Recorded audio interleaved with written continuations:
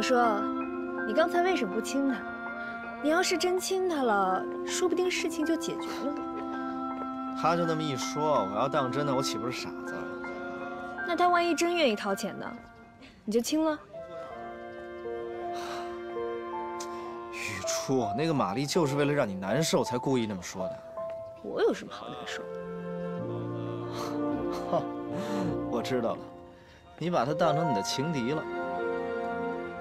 崇立明，你别自我感觉太良好。哎，真不想知道我跟他说了什么？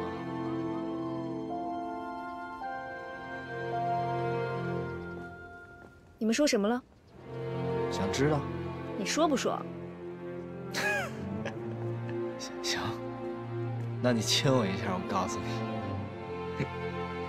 爱说不说。好，我说。我跟玛丽说，我崇立明只亲我喜欢的人。